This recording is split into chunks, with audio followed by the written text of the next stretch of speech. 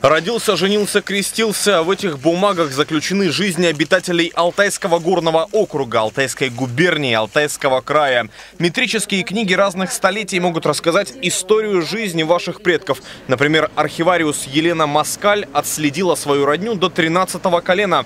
Но чтобы не утонуть в объеме казенных документов, нужно быть подготовленным к погружению.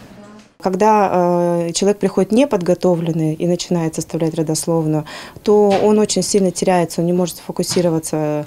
Мы предоставляем сведения о каких-то э, людях, да, говорим какие-то фамилии, какие-то э, какие события в жизни, и человек не может понять, его это родственник или нет, э, потому что очень сложно вот так сходу, погрузившись в огромный объем информации, документов, определить, идет речь о ваших родственниках или нет. Чтобы найти своих, нужно знать ответы на три вопроса. Как зовут, какое событие произошло и где.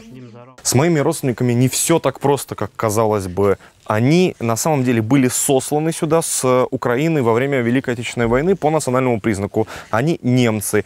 То есть здесь о них информации не должно храниться. Эта информация хранится в ГУВД. Но если их обвиняли по 58-й политической статье Советского уголовного кодекса, то здесь я тоже могу найти о них какую-то информацию.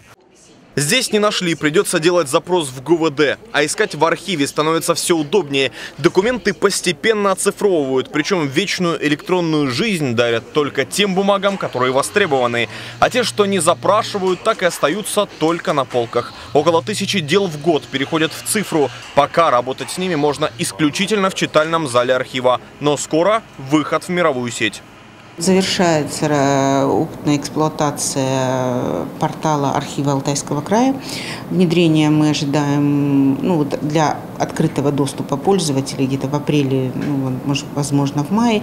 Там будет решена, э, решены задачи вот, э, удаленного, предоставления удаленного доступа электронных образов документов, но это будет платная услуга. А пока знайте, к походу в архив нужно подготовиться. Случайному прохожему прикоснуться к документам лет минувших не позволят. Нужно написать заявление на имя директора, заполнить анкету, прийти с паспортом. А посмотреть документы о подданных Российской империи можно только по предварительной записи. Конечно, из-за короны. Андрей Дрейер, Александр Антропов. День с толком.